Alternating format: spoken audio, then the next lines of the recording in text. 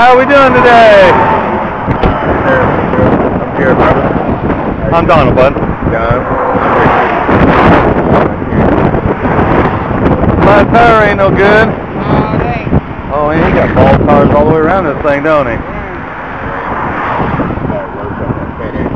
All good, thank you, hon. Do me a favor, sign your life away for me. Did you guys want to take this back to the address here? Yeah. Or did you guys want to take it and put it, get a tire for it? This address. Okay.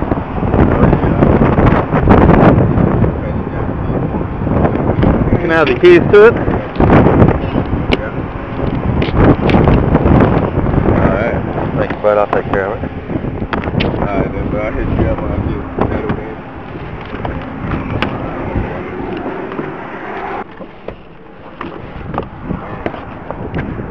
Look like all tires are ready to blow. All of them, bud.